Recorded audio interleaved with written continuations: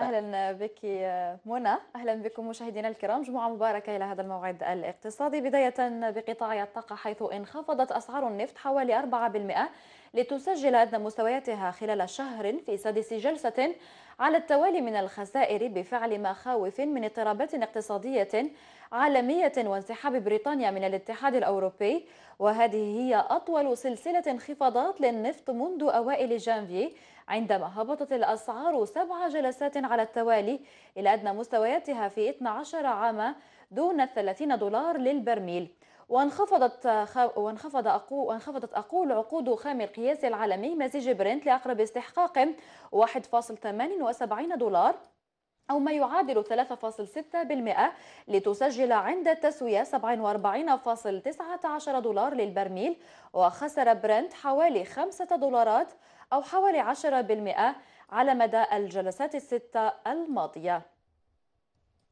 بعد التعديلات التي مست عصب الاقتصاد الوطني كثيرة هي الإصلاحات المنتظرة من طرف الوزراء الجدد خصوصا وزير المالية باب عم حاجي وما سيضيفه لحل المسائل المالية والنقدية. التقرير لإيمان عياش.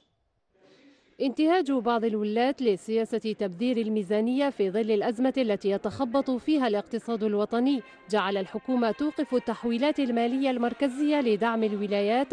قرار يهدف إلى ترشيد النفقات وخلق الثروة على المستوى المحلي. في حقيقة الأمر مسألة التحول إلى المشاريع ذات البعد الاقتصادي والاعتماد على الذات والاعتماد على التمويل على البحث عن التمويل وفتح المجال أمام الاستثمارات المحلية. ضروري جدا في المرحلة الراهنة. تشجيع الاستثمار المحلي وتنشيط المناطق الصناعية باستقطاب مشاريع منتجة من القطاع الخاص تشكل بديلا عن الاتكال على الخزينة العمومية. الولايات والبلديات تمتلك مؤهلات لكن للأسف الشديد أنها غير مستغلة وبالتالي هناك فرص ضائعة. يمكن أن أن تستثمر. وقضية الاستثمار المحلي أن يفتح الباب للقطاع الخاص. ما هيش ما هيش خزينة الدولة أو خزينة الولاية أو خزينة البلدية هي هي التي تتحمل عبء التمويل الاستثمار. بل بالعكس لما يفتح المجال أمام القطاع الخاص في هذه المناطق السياحية والمناطق الصناعية يمكن أن لا نعتمد كلية على اعتمادات الدولة.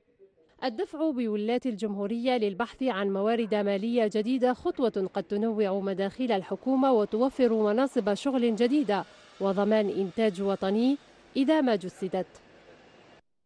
في مجال الاستثمار يشتكي المتعاملون الأجانب الراغبون في إقامة استثمارات بالجزائر. يشتكون من صعوبة المناخ الاستثماري لدائرة ينيل بالبشير أحد الكفاءات الجزائرية العائدة من المهجر. التوغل في هذا المجال. المزيد مع سوريا شعلال قبل قرابة ست سنوات التحق يانيل بالبشير بالولايات المتحدة الأمريكية للدراسة هناك قبل العمل كمستشار اقتصادي وقانوني بعدة بلدان ليصبح اليوم صاحب أربع مؤسسات تنشط في المجال L'Algérie est un pays à construire. Les États-Unis sont déjà un pays euh, qui, ont, qui a été construit. L'Algérie est un pays en devenir. On est en train de changer de modèle euh, actuellement. Il y a beaucoup de choses à faire. Et je pense que la génération comme la mienne qui a étudié à l'étranger doit revenir en Algérie. مخطط الحكومة لاستقطاب الاستثمارات الأجنبية كان دافعا ليانيل الذي اكتسب خبرة واسعة في المجال في انفراده بمساعدة الأجانب الراغبين في الاستثمار بالجزائر. Les potentialités d'investissement en Algérie sont énormes. Jusqu'à aujourd'hui, elles n'ont pas été exploitées. Et euh, c'est la première raison. Une autre raison, justement, c'est pour pallier peut-être aussi au manque d'offres concernant les services que notre groupe peut fournir aux, investisseurs étrangers, qui dans la plupart des cas, justement, lorsqu'ils viennent en Algérie, ils trouvent un marché qui est tout à fait intéressant. Mais après, pour mettre en pratique, pour réaliser leur, leur projet ou mettre en œuvre leur contrat, c'est plus difficile. ولأن المناخ الاستثماري لا يخلو من الشوائب يجد يانين صعوبات عدة خاصة فيما تعلق بالتعريف بالقوانين الاستثمارية الجزائرية للأجانب mal en phase de réalisation l'investissement. Niveau réglementaire, si vous comprenez mal les différentes justement dispositions et réglementations qui s'entremêlent, vous pouvez euh, commettre des erreurs et ensuite c'est difficilement réparable. Donc c'est comme un jeu d'échecs si vous préférez. Les premiers coups sont tout à fait déterminants.